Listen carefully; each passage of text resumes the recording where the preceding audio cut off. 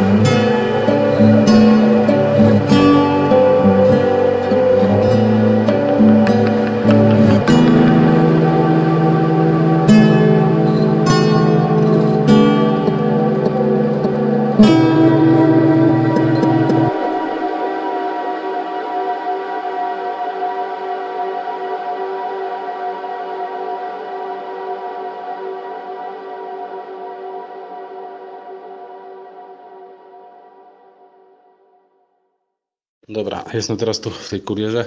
Jest tak, u góry jest pięć pokoi, sypialni, plus taki jakby przedpokój i jedna łazienka. To jest i olbrzymi taras. To jesteśmy na górze. Teraz schodzę na dół.